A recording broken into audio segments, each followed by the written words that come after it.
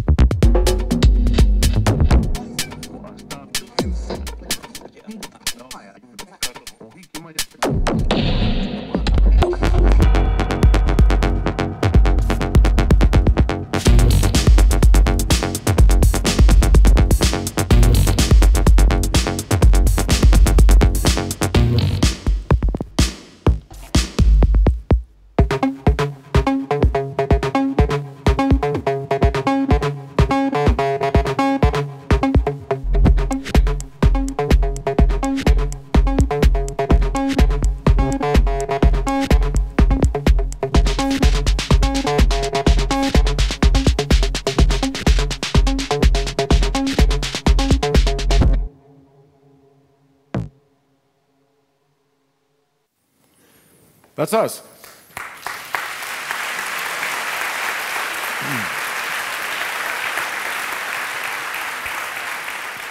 But my name is uh, Martin Stenberg. I'm a creative uh, writer and strategist at Kurppa Hosk. This is Jonas. I'm Jonas Kleerup. Uh, I'm the client, and I've been working with Kurppa Hosk for almost almost 10 years as well. And my name is uh, Thomas Kurppa. I'm um, co-founder and creative director at Kurppa Hosk. And at Hosk, we have been working with brands and uh, experiences for the past 10 years and um, are now basically not very uh, tied to any industry, but quite agnostic, working all over the world, uh, but based in Stockholm and in New York. And our contribution to uh, the world of design and business is, we feel, in the meeting between artistry and strategy we believe that uh, whatever we do, if it's an art project or if it's uh, work for a large uh, commercial company, the real value that we can bring to the table is when we combine the linear and the non-linear thinking, the, the creative insights and the strategic insights. Because ultimately, we're all living in, in an experience economy and we are only touched uh, by things that really reach to the core of us. That's our belief. So we believe that whatever we do, uh, we always have to make an impression and make that impression count. So that's our founding principle. And that's something that actually has been um, growing out of uh, several different insights and projects, several of which have been done together with Jonas, who has a solid background, as we heard, uh, within the arts. And that's really where we have explored this concept of business artistry, which we then brought into many of our other projects as well. And uh, they include all kinds of companies from blockchain to cosmetics to uh, vehicles to uh, uh drinks, basically. So the foundation is business artistry. And um, when we met you, Jonas, you had a first project that we got, that we sunk our teeth in. Uh, you mean the gallery, gallery yeah. business? Yeah, I opened up a gallery in 2006, I think it was, and after living many years in London and doing lots of different things with antiques and music and set design and everything, and uh, was quite new on the scene, on the local scene in Stockholm, but had quite. Uh, my approach was I didn't know anything about the art scene, didn't know anything about the gallery scene, so I could do it my own way which turned out to be a success. I got a lot of attention, got a lot of buyers because I, I kind of disrupted that, the, the kind of kind of conservative art scene in Stockholm at the moment.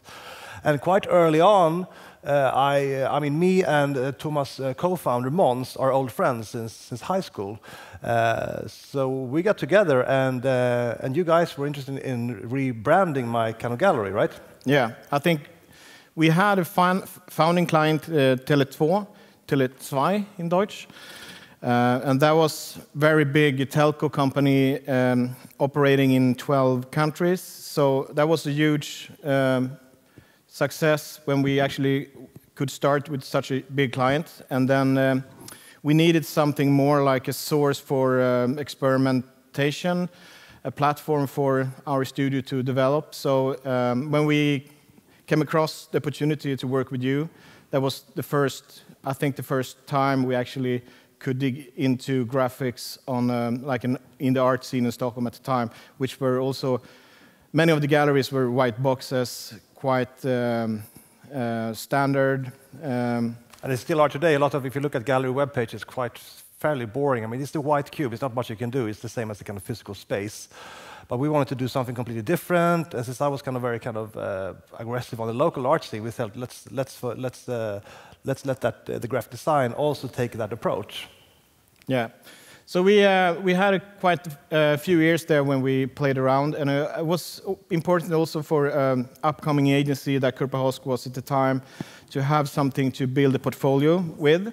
So uh, working with friends in the beginning can be a very good thing um, because and, you and also. I think, I think also another insight. Sorry, interrupt you, but uh, is that uh, working with someone who actually has 100% trust in you allows you to really take things to an extreme.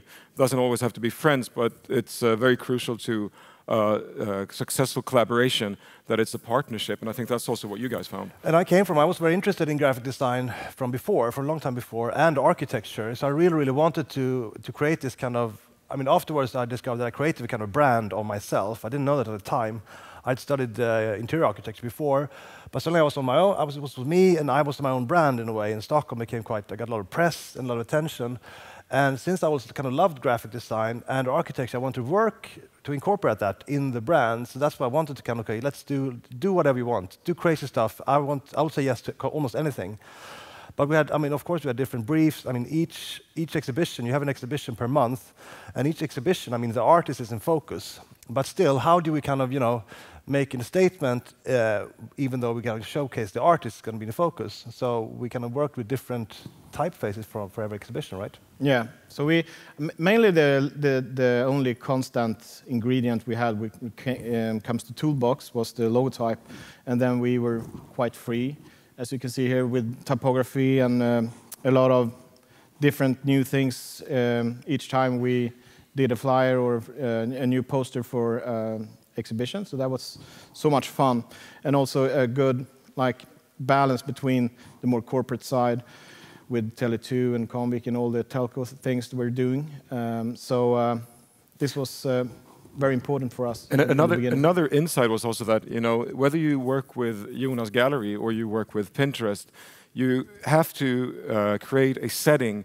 which lifts the actual content. So it's in a way a co-branding exercise. How do you create something that is distinct but doesn't overtake, you know, the main focus area? Uh, this, I mean, it's also it's also kind of um, created inspiration for the architecture. For the first space, we redid the architecture with an arch architect called John Robert Nilsson. He had done a lot of interiors and a lot of kind of gallery spaces, but he, he, felt that I had a very kind of open approach to the whole kind of design process. So we actually did the gallery space with no uh, angled walls.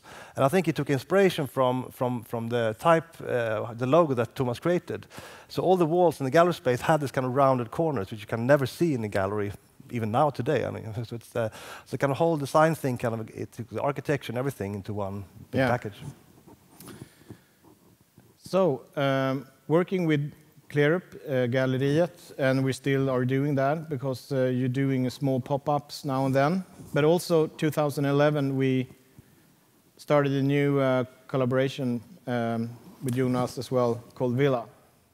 Uh, I felt that um, I wanted something different. It was very kind of traditional, everything, and the kind of art scene was very traditional, and fashion was very popular, and kind of. So I wanted to kind of incorporate that and bring art out because art was not very trendy at, at that point, and I want to bring art in front of people to kind of to put it where the kind of the fashion stores are.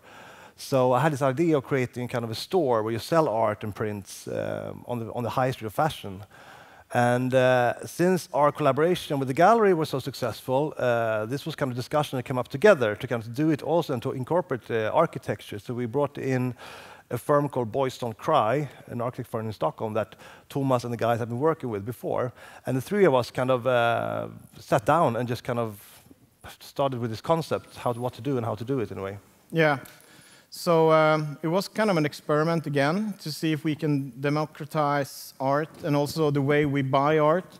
I think a lot of people, especially young people uh, in Stockholm at least, were kind of afraid going into the established galleries. So it was also um, a way of trying to make art fun and uh, accessible. We, yeah, accessible, and also uh, we had a uh, Jonas. The price range was also. Um, spanning from like very 50, cheap to yeah. 30 euro to, to I mean 5,000 euro. Yeah. So, and I think this uh, is basically very, I mean, the environment here or the, the retail um, furnitures and stuff was very cheap yeah. as well. And Stockholm is very trend sensitive. Uh, at the point we did this, photography was on everyone's lips. It was opened a big kind of photography Kunsthalle.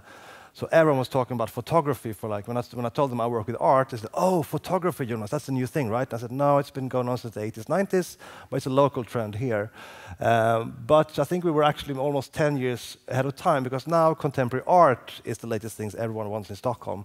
Uh, so photography is not that hip anymore.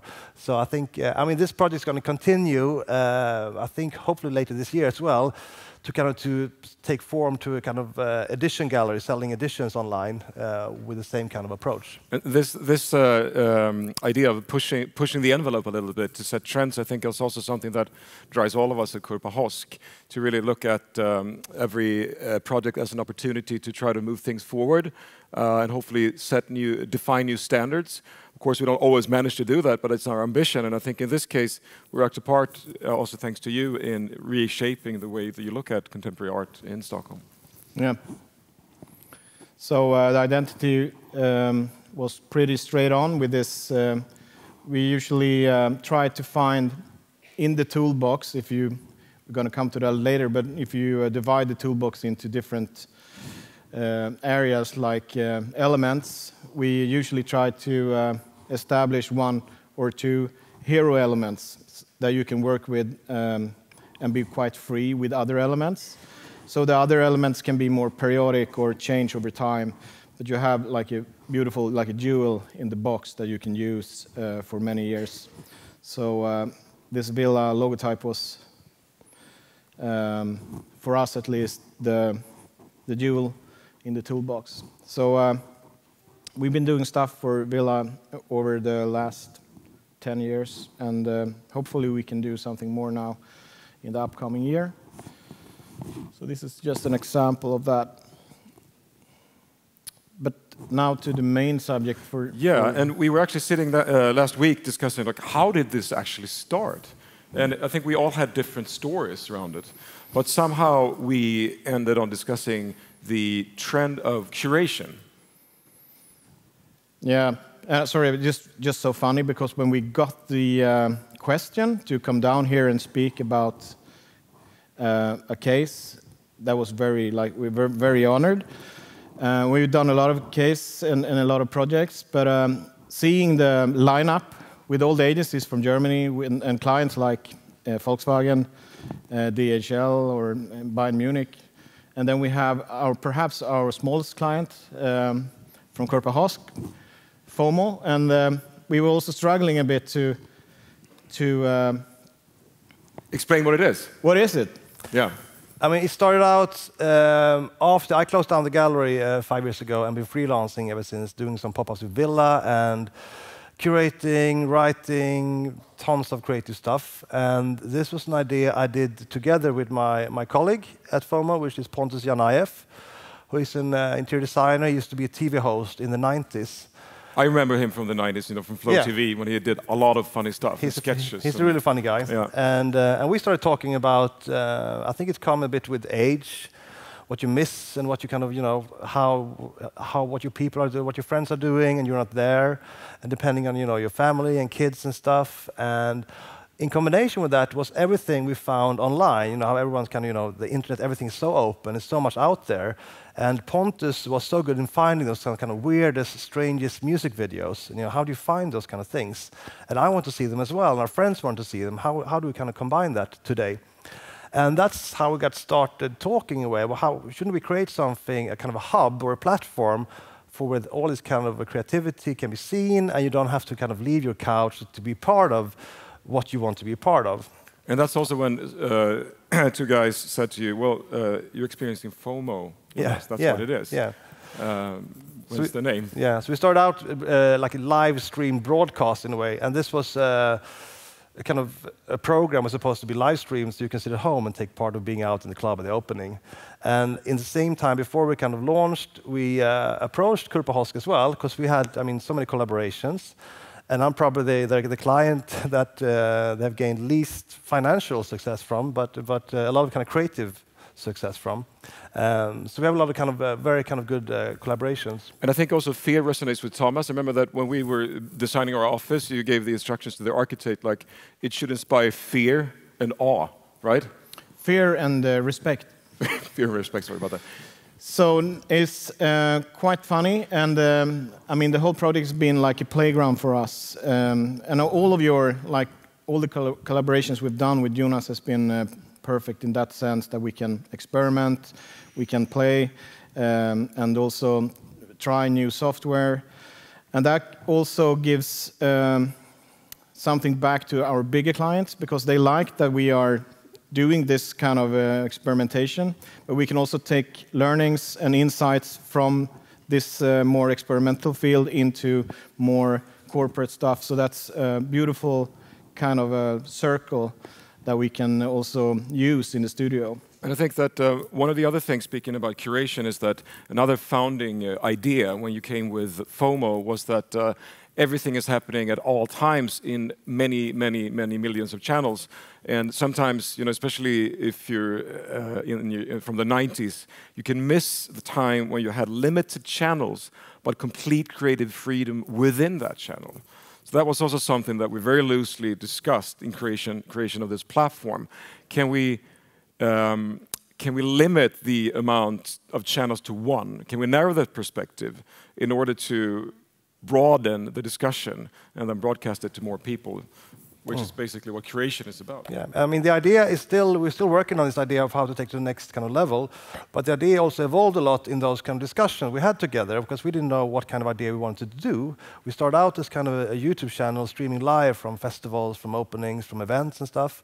But it was throughout the process uh, when we kind of discussed those kind of things together, and we kind of looked at different graphic solutions. We started with lots of kind of live, uh, moving images in a Yeah. way, uh, and it kind of evolved I had actually a hard time understand uh, the first time you came and explained the idea. But we have actually a video for you, so you perhaps have um, it's easier for you to get a picture of of uh, of uh, FOMO. Vi är FOMO TV. kondenserad kärlek och kompakt disco. Eh, Konstnärer, designers, musiker, skådespelare, ja, filosofer och IT-folk. Det här är bara för den inre kretsen. Eh, Little Jinder, Josefin, hej. Hej. Hej. Hejsan. Hej! I got my picture taken with Joan Baez. Oh, wow. Mårten, hej! Yeah, thank you for having me. I appreciate it. Vi sitter ute på krogar, på klubbar, utserveringar, festivaler och, och sänder live därifrån. Så dammsuger vi verkligen Youtube för att hitta de här bra klippen och fantastiska musikvideorna. Och framförallt så vill vi veta vad våra gäster, vad de tycker själva. Men vad är det du har valt för någon? Jag har valt... eh, Don't you want me baby? Välkommen till vår värld. Tack för ikväll. Till internet, till internet. So for you who do not speak uh, Swedish, maybe you missed a part of it, but there were a lot of artists uh, passing by there and uh, discussions about uh, clips, art, and life. Yeah. And YouTube, I mean, what's out there, and uh, talking to uh, creatives about what they, I mean, the, the, the interest also lie in what does, what, what do you want to see? What do you want to see? What, do what are you inspiration of? And to, together to kind to find that what other creatives are kind of inspired by and what they like to look at. Like, you know, like everyone discusses Netflix movies or series online. This was more about finding your kind of special, oh, it's a strange documentary about this kind of graphic designer in the kind of 40s, and it's there, and to kind of collect all those inspirational. Yeah. So it, it, was, in that sense, also connected to the things we're doing at the gallery and, and Villa, so like a natural extension of that. Um, but it was very hard to capture like your idea in the beginning, and uh, we had also a struggle when it came to the identity because we didn't know what it was, and still perhaps don't do. So um, the first discussions we had when it came to the identity was, uh, uh, again, can we have this like a playground, uh, both in terms of identity, but also in terms of ideas, test new ideas, uh, have fun, and also perhaps in the in the long run, see if we can come up with new business ideas as well. So uh, usually uh, at Kurppa when we start doing uh, explorations, we um, try to see if we can find some hero elements in the toolbox. And, and this toolbox is common. It's, it's like every identity is built upon this at least four elements, logotype, typography, colors, imagery. Sometimes you have a fifth element, like um, Adidas three stripes is an extension of the logotype. Still, it's not the logotype. It's something that you you reckon like Adidas from from far distance because it, they're so famous and they derives from the logotype. But still, it's not in in that sense um, a logotype. And then, of course, in some bigger projects, you have icons, illustrations, infographics, UI, UX, stuff that can also be related from the core uh, of the identity. Everything is like connected to each other. And um, we usually try to, we usually start with the core elements at Kurppa We don't do like concepts or like this world. We want to do something like this. We turn it around and work more like pure graphics from the beginning to see if we can find um, simple, strong, and unique ideas that we can extend into a concept. So it's more like we regard these elements like ingredients in a dish, for example. So when you have the best meat in the world, you can do a lot of different concepts or recipes. So we also try uh, to find connections between the elements. So for example, if we come up with a logotype, uh, we try to extend that into the typography so they have a very clear connection. Uh, as an example, we work with Bobbi Brown, and we uh, have recently just updated the, the logotype you can see in the, in the lower right corner. Um, and they have been changing typography for so many years, like every, every year is a new typography. So there was an opportunity in our eyes to actually extend the logotype into a typography that you reckon as well, like you can see they can own their own typographic expression. So that's something we usually do. And, and uh, we can also uh, sometimes take another relationship between, for in this example, like logotype into a fifth element, like the Adidas example. We did that for a client called Wrapp. Um, and we had the box um, because they, they came from an old logo with something that's wrapped around the box. So we tried to simplify the box into um, perfect triangles and then you get the 60 degrees uh, math, which we built a logotype from, a W, and we can also, uh, from that, design numbers. So uh, it's quite nice when you're like you're forced into a dogma or something that you need to solve problems within.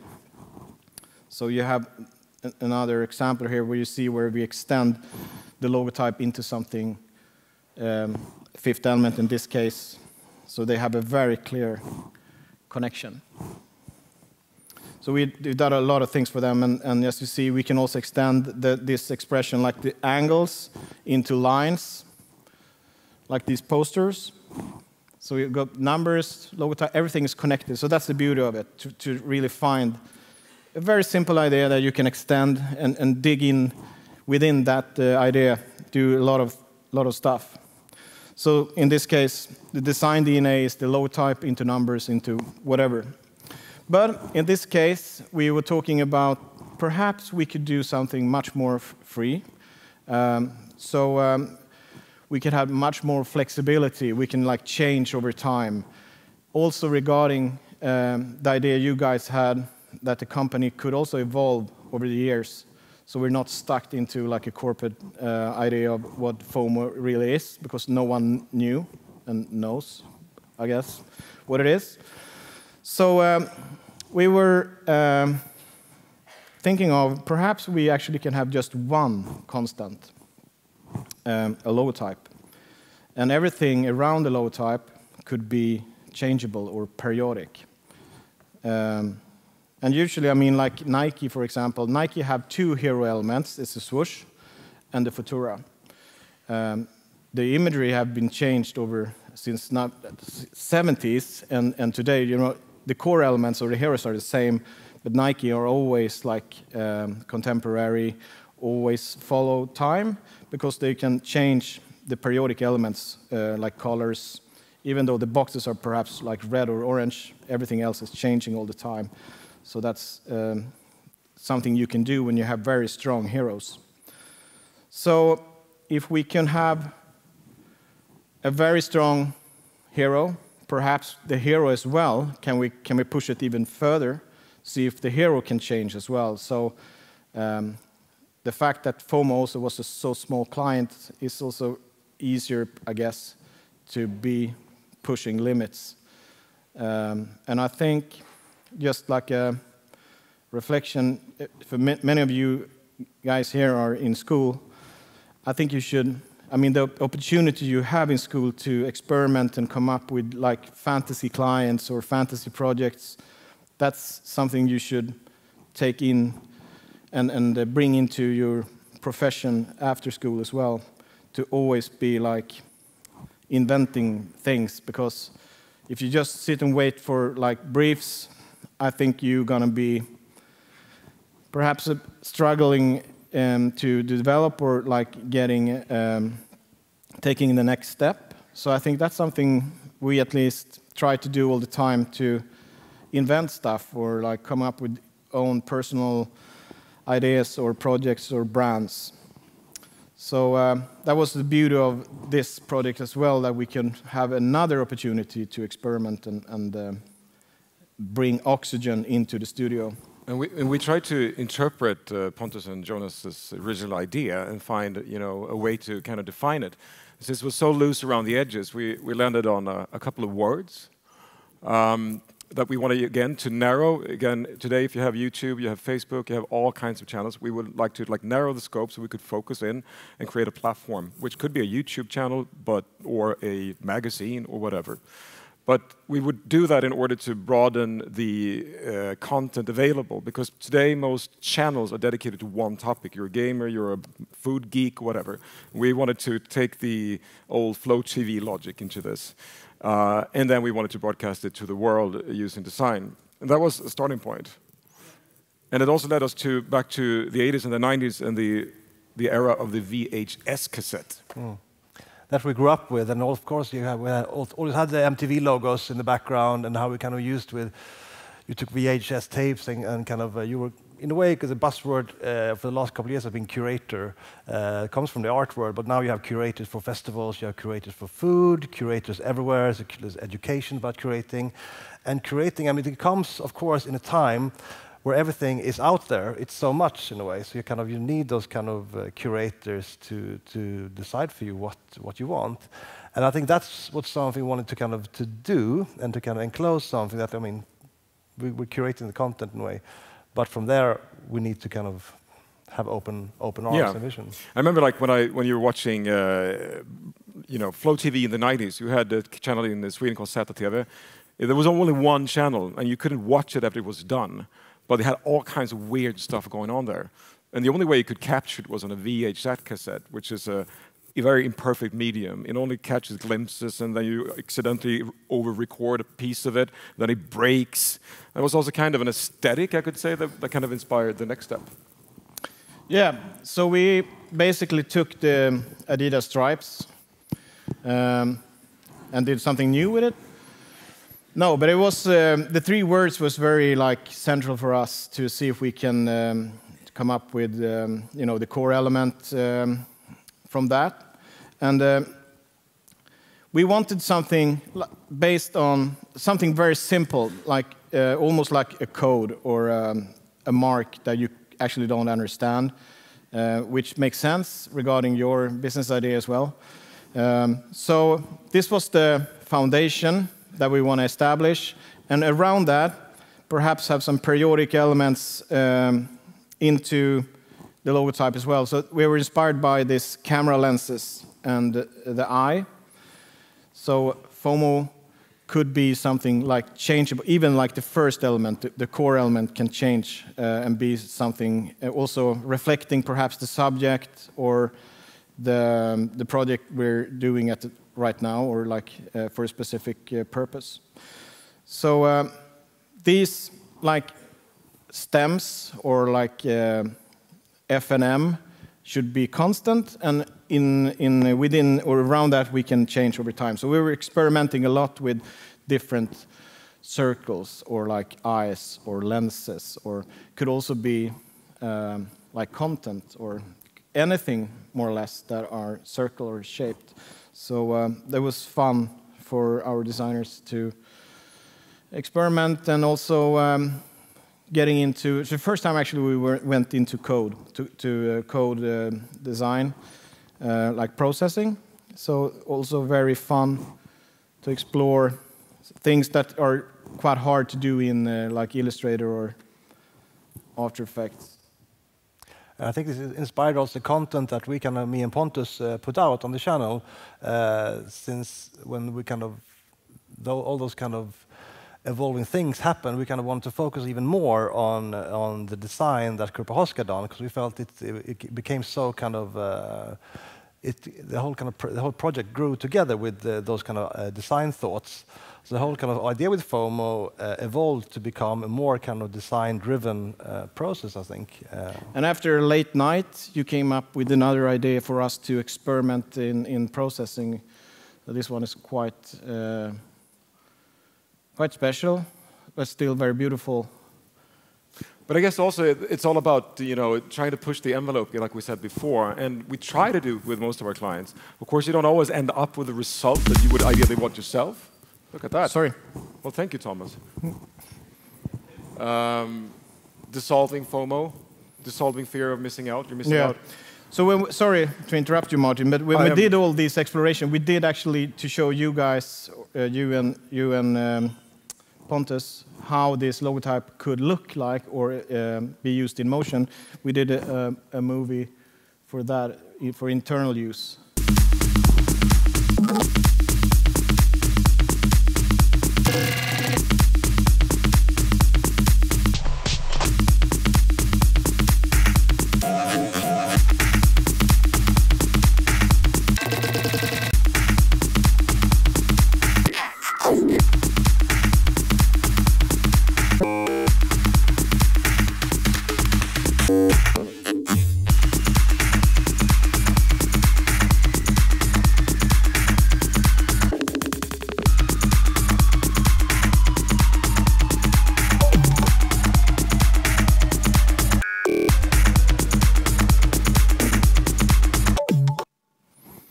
Used this uh, movie in uh, clubs as well. I mean, on, on uh, yeah, screens. applications, because FOMO kind of developed from being this kind of live stream channel into, I think last year we had it as a kind of pure kind of almost music video and YouTube-related uh, website where we presented one project per day.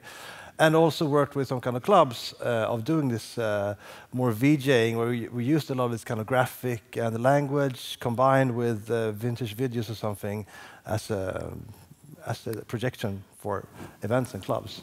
And yeah. Now, and now we only have eight minutes left. There's some juicy Eight minutes. Bits. I need to uh, run a bit here. Um, then, uh, as I said, we just had the, the logotype was the thing that we want to have constant, and and then we worked in in initially we had this NB as I think that's Neubau pronounced correct Neubau in Swedish uh, Nybygg International. So we worked with that like um, framework, uh, quite free um, but and also like um, trying to have this indents, like like pushing in. Um, you see as well, we have like grids that are very neat and tight, and also work with different. Uh, this is KS Grotesque uh, Kurppa Hosk own font that we're introducing now, is just a test. So it's not like we're stuck into Neubau. It's more like experiment, uh, continue to experiment.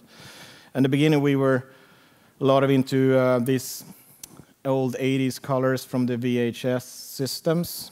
Uh, so that we can also I mean question now when we're entering the new phase of FOMO. The imagery we had and still have is quite unique, I would say. Um, this is Pontus doing experimental stuff. Yeah, that's my colleague Pontus, yeah. Yeah.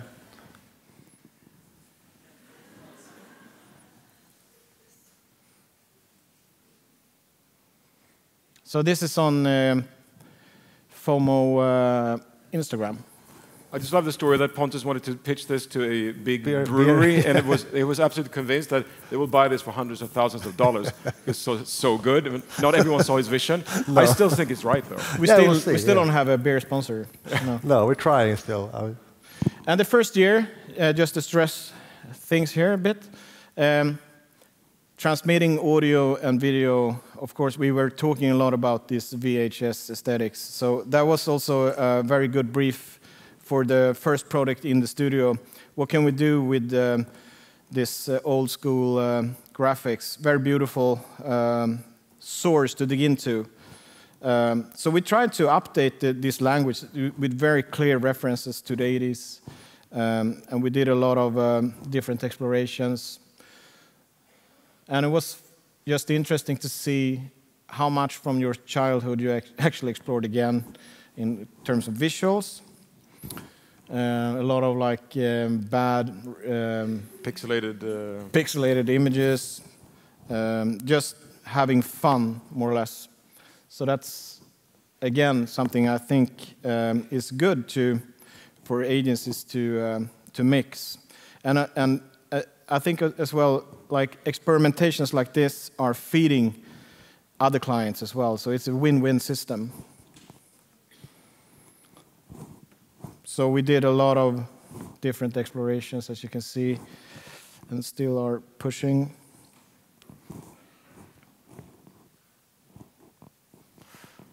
And I guess I have like 300 the... of these, so I, just need to click a bit more. Yeah, uh, you, you right, click your head there, Thomas. You're doing a great job. And meanwhile, we could say, Jonas, what is the next FOMO? Uh, the next step, I mean, both me and Pontus are working on uh, different projects as well, as part of this is kind of our baby. Uh, and we are in talks now, we're talking with you guys about uh, how to explore the third kind of step. What do we want to try out now? And I think we're, it's, it's going to be something that's uh, going to be online, like we're like a kind of flirting with old television, but um, in an online presence uh, on the web page, right? With lots of moving images and uh, mixture of strange stuff. It's going to be it's going to be amazing, I think. Yeah, and maybe we could even create, you know, a set of dogmatic principles and invite other people to experiment it. Yeah, yeah and also even creating kind of code or something that people can program themselves for an app or something. We're, we're not there yet. We're just we're in discussions now. So, so some examples from uh, where we are now, um, trying to uh, articulate the ideas Jonas is talking about. So next step with FOMO um, is again to keep this um, logotype you can see coming in, and then just experiment with new uh, elements, new periodic elements. So. Uh, we're on a, um, a journey now to see where we can take it.